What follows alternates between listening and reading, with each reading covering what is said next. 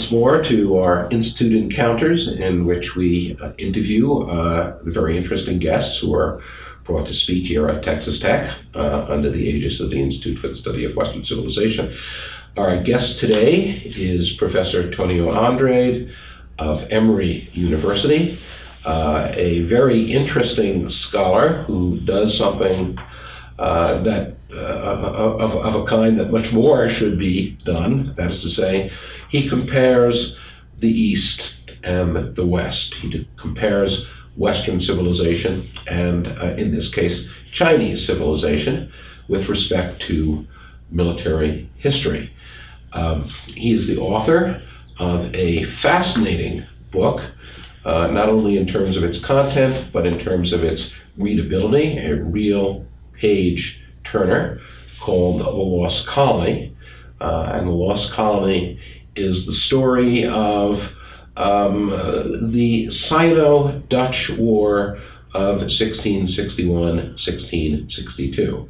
Uh, you might ask, what would lead one to examine closely uh, this relatively uh, obscure military conflict? But there is a very good reason to examine it. Uh, and to find out what that is, uh, let me turn to Professor Andrade and ask uh, why you decided to write a book about this particular engagement. Well, the Sino Dutch War was the first major military confrontation between the Chinese and the Westerners before the Opium War. And so it's just extremely important. You know, we, we don't really have other examples until then. Um, there was a minor conflagration between the Portuguese and the Chinese in the 1500s, but uh, but nothing like this. So this was a, the first major war. Um, and as I started researching it, I just found that first there was enormous amounts of material on it, and there was wonderfully colorful material, and so I, I decided it was worth a book, and and decided to to write it. But you thought of it as kind of a uh, experiment, historical experiment, in which you could test a proposition that otherwise couldn't be that easily tested. And, and what was that proposition? Right. The the question is um,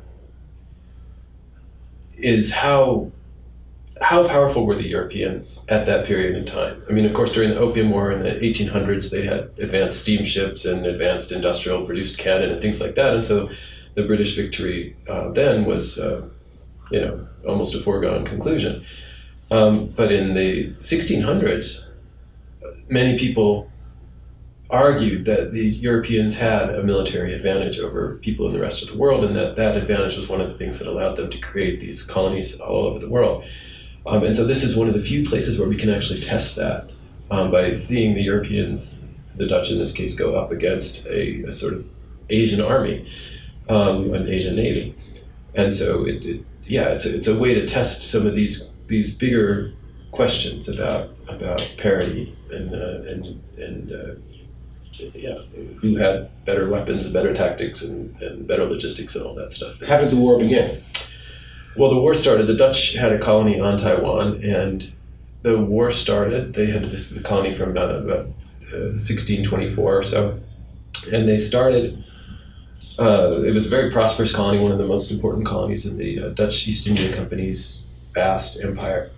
Um, but across the straits in mainland China, there was um, a great dynastic transition the, between the Ming and the Qing. And uh, the Ming dynasty, it fell, technically, we consider the fall of the Ming to be 1644, but of course, people were fighting to restore it. And one of these people fighting to restore it uh, decided that he wanted to take over Taiwan from the Dutch uh, as a good base from which to continue the, the fight. And so he, he had vast armies, uh, at least 150,000 men, probably more than that. Um, and the Dutch had far fewer, and he decided to, to invade. It was the biggest invasion, maritime, overseas maritime expedition in Chinese history since the uh, the famous expeditions of Zheng He, the, the uh-huh. you know the Chinese Columbus with 25,000 men going across across the Indian Ocean. Was he thinking a little like Chiang Kai-shek would later on? He needed an offshore bastion to. Uh, yeah, I mean the, the parallels are crazy. Uh-huh. Yeah, it's very similar. So uh, he he attacks the the Dutch, mm-hmm. and um, what you wanted to see was uh, how the two sides arrayed against each other, stacked up in terms of proficiency of weapons and tactics and whatever. uh, what happens? Well, I mean, the first thing to keep in mind is that the Chinese outnumber the Dutch enormously. Um, the second thing is that we know at the end that the Chinese won. Um, and so we have to really look in detail at the battles and the, you know, the actual engagements to, to get at this question of, of military abilities, you know, uh, comparisons. Um, and so uh, people who have argued that Europeans have a military advantage say that it rests on four things basically. They had better guns, supposedly. They had uh, better tactics. They were able to use these guns better, organizing human beings to fight in, for, in formations, especially with muskets, fighting, firing in turns. Um, uh, the third thing is better ships, and the fourth thing is better fortresses. And so what I found is that uh, um, there were a bunch of battles. I, we could go into specific battles and stuff, but I'll just give the overview first. In in general, uh, on land, the Chinese were far more effective. They they were as disciplined as or better disciplined than the, than the Dutch. Um, their guns were as good or better, um, certainly as good. Um, and they were Chinese-made guns. And they were yeah. So they had some Western guns, but they also had their own guns that they uh, were making themselves. Um, and they were very effective. Um, but on the oceans in deep water combat, the Dutch ships were yeah, extraordinarily effective and could stand up to far larger numbers of Chinese ships. And the Chinese ships, well, in using the term ship, I guess, is they, they, were ships, I guess, but they were smaller, much smaller, and they were often used for sort of coastal and maritime, uh, coastal and riverine uh, warfare because they were fighting a war primarily against a, a land power um, before they attacked the Dutch. Um, but in any case, these these uh, European ships could stand up to ten or twenty easily of the Chinese uh, Chinese ships. Except they, they, were bigger and more strongly constructed. They were, yeah, and filled with cannons. Mm-hmm. Like the broadside cannons, mm-hmm. you know, could levy twenty guns or so and blast blast anything mm-hmm. to bits. Um, and the Chinese ships had cannons, and they were cannon. There were cannon ships, but they had fewer, and and they you know couldn't do the massive broadsides that the Europeans could. So in that sense, in, in terms of naval battles, as long as it was in deep water, uh, I think that the the the idea that Europeans had an advantage is, is pretty clear. But of course, uh, they could always the Chinese could always lead them to shallow water, and then they had other types of vessels that were enormously effective too. Um, uh, for shallow water combat and that kind of. So they, they were proficient using fire ships, if I recall. Yeah, and also yeah, exactly loading like bombs, basically mm-hmm. floating bombs. They were good at that too. Um, but so yeah, I think that the ships is one example, and uh, another thing that, that the Dutch had was a Renaissance fortress. This this fascinating design that uh, uh, Leonardo da Vinci and others like would design these fortresses that had angled bastions on the end, and that this is a famous thing in, in European military history. Uh, and the Dutch had one of these on Taiwan, and it was enormously effective. The Chinese didn't quite understand how to take it. They tried various things, very smart things they tried, but ultimately um, it wasn't until they had a, the help of a, a drunken German defector who, who, was a Catholic and the Dutch were uh, Protestant and he got sick of not having enough alcohol maybe or the alcohol got very expensive in Fort. I don't know why he went over, but he went over to the Chinese and taught them basically how to set up siege works on, on a European uh, line, massive, uh, yeah, batteries all sort of fortified and in lines, and, and then in that way they managed to to force a Dutch surrender after about nine months of, of warfare. So. Um, so in some sense, I think that the, the Dutch, the, the European reputation for military effectiveness is deserved, but at the same time, um, we have to see, I think, this this age of the 1600s and the 1700s as a time of very rapid Chinese adaptation in the warfare in that period in the 17th century. They were uh, they were making enormous strides. We can't think of China as a kind of static place at all. That that comes a bit later. Militarily static, they were static later, but not during this very dynamic period. Um, so these findings uh, even though they're quite nuanced and they look at different dimensions of the conflict and make different judgments with respect to them, nonetheless, uh, sort of fly in the face of, of, of, a lot of the understandings, even among military historians, mm. about the, the relative proficiencies uh, and technological effectiveness of, of the East and West. What, um, what, therefore, what, what's been the reception of, of, of the book? Well, generally, people have been pretty positive about it. Um, yeah, I mean, most reviews have been have been quite good, and and I think most gratifying for me is that people who might not have normally read about this sort of thing. A lot of people have picked up the book and found it interesting. I mean, I tried to write it in a way that was that was fun, you know, because it was the the sources are so great. There's so many great characters, you know, uh, gay pirates and things like that. Um, that it was just it was it was so fun to write. So I'm glad that people are are picking it up. Yeah, but the in terms of critical reception, really, I think that the general conclusions are accepted. Some people have said that I overrate the Chinese. Um, one guy in particular said that, but then he he didn't read the Chinese sources, so I, I don't I don't know that he can really make that case. Um, and other people have suggested that um, that when I say that uh, the Europeans had superior ships or superior forts, what I should be saying is that they had different ships and different forts. Um, and there's a case to be made for that, but but I I do think that in certain cases. Like you can really compare, you know, when it comes to warfare. Uh, when Dutch ships were able to single-handedly or single-shippedly, I guess you could say, single-shippedly take on vast numbers of other ships, uh, that you can talk about superiority in, in these terms. And the fortress, I think, definitely deserves. They were also able to sail into the wind. Yes, this is another right. thing I didn't say. Yeah, it's a mm-hmm. it's a very interesting thing that they had rigging that allowed them to sail much closer to the wind than the, than the uh, Chinese junks, which makes sense because the Chinese junks were designed to sail with the monsoon. It's very predictable wind patterns, and you just went one way one season, went back the other way the other season, and in the Atlantic, you know, with the, the Dutch had to get through the very difficult Atlantic. Half of the half of a Dutch voyage to all the way to the East Indies was spent in the Atlantic. It was a very difficult ocean, and you had to be able to sail all sorts of different conditions. And so anyway, that yeah, the, the Chinese commander is, is surprised when the Dutch relief fleet shows up, even though it's it's it's sailing into contrary winds. Exactly. Yeah. Well, the the the Dutch managed to send word. He the the Chinese um, general, the Chinese commander, timed his invasion so that it would happen in the spring, just after the monsoon winds changed from a northern wind that would allow you to go south to where the Dutch had their main port, um, to uh, the very far south, right to the main uh, center besides Taiwan and uh, Java. Um, he timed it so that so that he thought that they wouldn't be able to send words because the contrary winds would be coming. Um, but they managed to send a dispatch yacht along a circuitous route through the Philippines, and they, they managed to make it. And so when that when that relief fleet arrived with you know a thousand men or so and all sorts of food, that he was all the Chinese were shocked and they, they didn't believe at first that it had come from them. And there's other occasions in which this uh, sailing against the wind became important. The, the, sources, I mean, we talk about how contemporary historians uh, have looked too simply um, at the comparison of, of, East and West during this mm-hmm. period.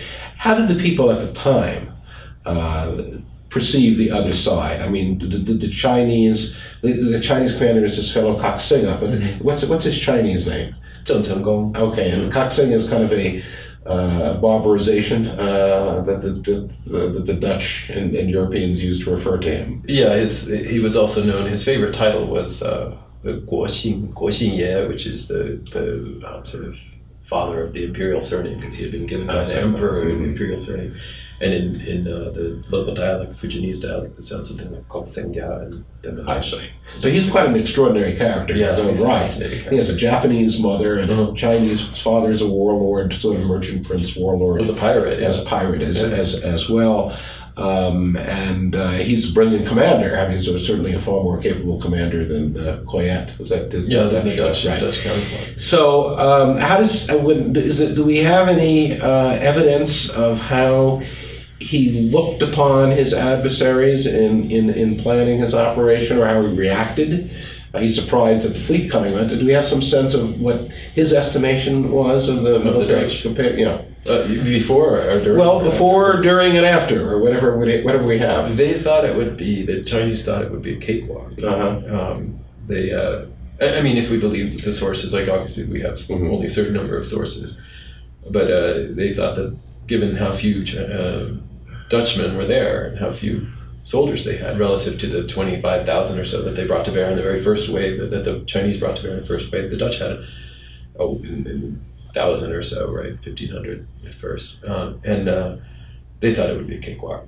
So um, certainly they they were surprised at, at how the fortress was able to sort of massively defeat their first attempt to siege it, to besiege it, or to storm it. I mean, um, so in, in, I think that their estimation of the Dutch sort of increased at that point. But on the other hand, at the same time, the Dutch were losing foolish land battles, and so you know maybe in some senses the the Chinese were right. But what's I think what's interesting about the the the Sino-Dutch relation during sort of the longer period, the decades that led up to the war, um, is is how it changed. There were times when they were, there was a lot of friction, um, and and if you read the documents, the especially the Dutch documents talk about this this nation of sodomizers and then how they're horrible people and stuff. But then you know once the the conflict goes down, this is in the 1630s, early 1630s that happened. But by about 1635, they'd reached a modus vivendi, and now they're buddies and they're trading all the time. You know, so you see kind of changes in the way they thought of each other. Certainly during wartime, the rhetoric got bad. There was a, there were atrocities and torture on both sides. Um, um, yeah. Did the I mean, how did, did, did the Dutch know a, good deal about China and the Chinese, and did the Chinese know very much about about Holland?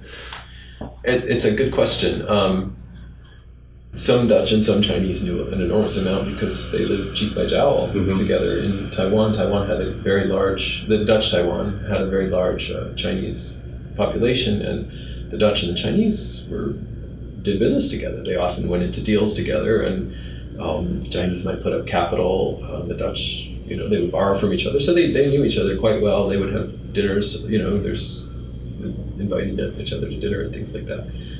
Um, but I think the the higher up you went, at least on the Chinese side, the Dutch were much fewer, and they were surrounded by many, many Chinese. Uh, on the Chinese side, the higher up you got, and, you know, and the less contact people had with the Dutch, it's easier to have sort of stereotypes about them. They were, you know, the, the barbarians. The term, the characters used are disparaging characters to refer to the Dutch, which is pretty typical. Did the Dutch have much insight into Chinese culture and the Chinese regime?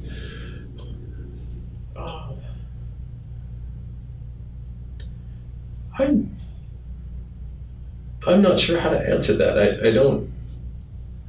I mean, they weren't clueless by any means. I mean, certain times they didn't understand things. Uh, they didn't understand some basic ideas about the way that the the, the Chinese Imperium worked. Um, on the other hand, it's hard to say if if if it's that they didn't understand it or if they didn't accept it, because the Chinese they had this notion that all other peoples were uh, not peoples necessarily, but all other states um, were. Uh, less important, right? We're below the emperor. There is one emperor in the world, uh, and all other states are naturally below that, right? Um, and that's just not a very European notion. And this, this kind of tension of, of the way that one looks at, at diplomacy and things, this, this is from the very beginning of the relation between Europe all the way through the Opium War and beyond. Um, so it's hard to say. People have said oh, Europeans didn't understand it. Well, maybe they understood it, but you know, and, and, and Chinese on the other hand didn't understand Europeans. Maybe they both that's kind of understood, but they just their systems were so different there was no compatibility. Did the Dutch feel confident when they knew the attack was coming, or did they feel that this was going to be a struggle?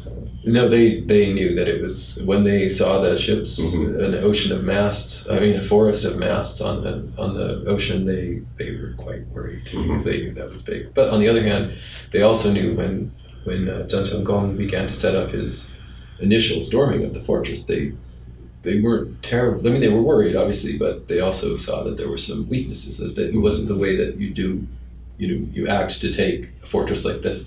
So yeah, there's there was confidence and and sometimes overconfidence. the Dutch tended to be sometimes overconfident, and they had ridiculous uh, naval attacks where they brought their deep ships into a shallow bay and then gave all the advantage to the Chinese, who completely outthought them. And, and Chinese leadership was was often extraordinary, military leadership. Was there in, in Japan, it probably doesn't really begin until about a century later, but you have the development of this sort of Dutch learning Mm. group, people who are very interested in the Dutch at Nagasaki uh, and are translating works from Dutch into Japanese. Um, during this period, does, does I mean, there's uh, not only the Dutch, but the, the Portuguese and the Jesuits in, in, in China. Uh, what what what's the uh, is there is there a parallel uh, phenomenon taking place in, in, in China with respect to Western learning that you have in Japan?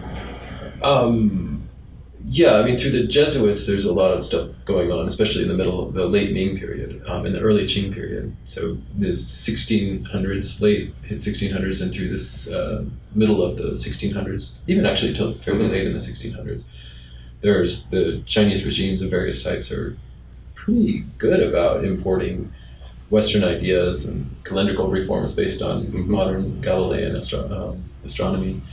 Um, uh, yeah. So yeah, I, would, I guess you could say that there is a certain amount of that. I was going to say something else, but then I forgot. what I was saying. I'm sorry. No, I, I gather that, that the kind of work you've done is is relatively exceptional.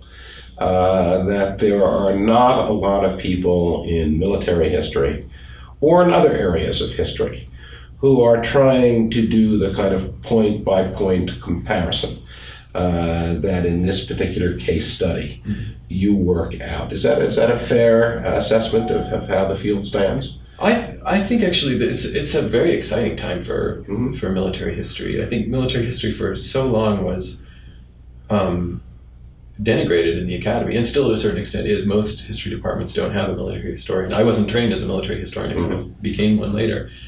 Um, but the surge in interest in global history and world history, you know, history that goes beyond sort of national borders, and especially history that takes into account, like you're doing with your institute, to try to compare, you know, uh, Western civilization with with other uh, civilizations or other uh, other societies. That this this kind of movement, I think, is opening up all sorts of new possibilities among military historians, and there's a bunch of them that are working on Asia. I mean, we, we know very little. I I'm just going to say, like at this point, our, our knowledge is very very slight. But there are some people. Uh, on one of them, uh, people working on it, a guy named uh, Sun Lai Chen in California, a guy named Kenneth Swope. Um, there are all sorts of people working on it. Uh, not all sorts, a small group, but hopefully, but it's growing and it's very exciting what they're doing. On this kind of point by point, I guess a little bit, a little bit less, but there, there's a great interest in it. So I think that it's, it's one of those things that I think is set to expand. What what kind of revelations has comparative military history uh, led to with respect to our knowledge of, of, of how militaries evolve, of how military technology develops? What what what broader patterns do you see when you look at the East and the West? I think one of the things that's, I mean, again, this is very much at the beginning of a movement. I mean, I, I may, may have been the first person to use the term global military history. Maybe not. It's a pretty obvious term, but but certainly it hasn't been used very much, and it's it's it's a very new thing. But I think one of the things is to uh, we have these um, this narrative, this model of Western history. Um, in which the West is very dynamic, right? The idea is that after about 1500 or so, uh, the West was surging ahead, and, and um, depending on who you read, there's, a, there's an idea that uh, that Asia was stagnant or was was much less dynamic. And I think one of the things that that the, these people are showing in this new work, my work included, is that the dynamism in the East was much more than we thought. There were a lot of developments that were happening that uh, we wouldn't have really known about until we really started to study these things. Um, I'm working on a book now about uh, um, that really compares Chinese to Western military developments, focusing on the gun, called the Gunpowder Age. That uh, that's looking at this, but other people are doing this stuff too.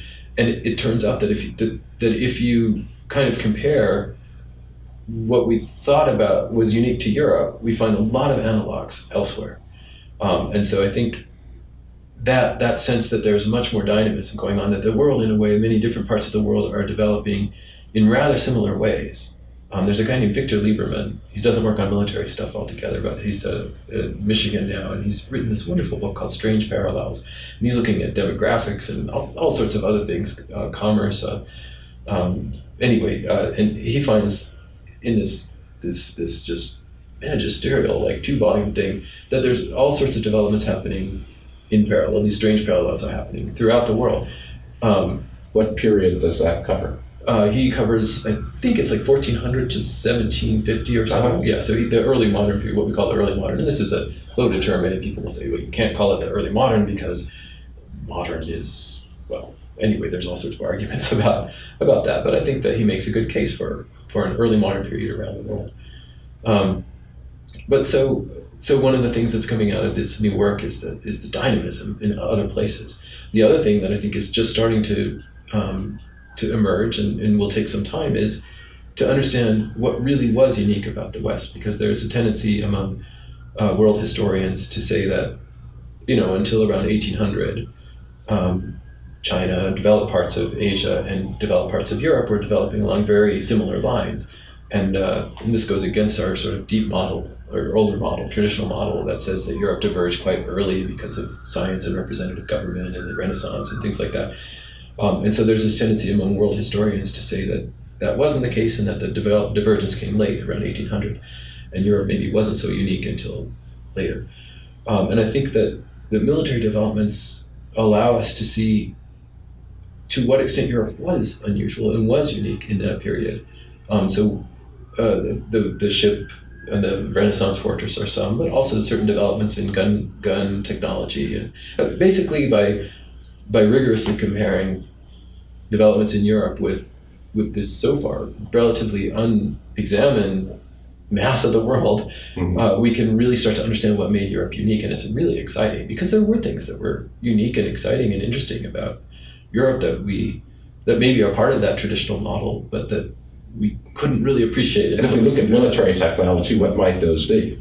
Well, in terms of military technology, um, well, we were just just talking to a gentleman who uh, I, who assumed, I think, as many of us had, that the that the Chinese uh, invented gunpowder, um, but they used it for for fireworks. I mean, this is a very common thing that we that I was taught in my school, you know, and they didn't use it in weapons. And well, what we find when we look is that they were using it in weapons right away. Like they're humans, they're fighting right. other people, and, and that these weapons, so they had a lead for 500 years or so. They were they had the best gunpowder weapons in the world, and the first. And when I say Chinese, uh, they were Chinese and their neighbors who were constantly fighting in this period in the 900s. And so, um, so yeah, this this sense of dynamism, I think but then there, then at a certain point, Europe did start to diverge. And so the question is, when and why and how and and I have some theories about that, which I'll be talking about in my talk and writing about in my book, and we can talk about it here too if you like.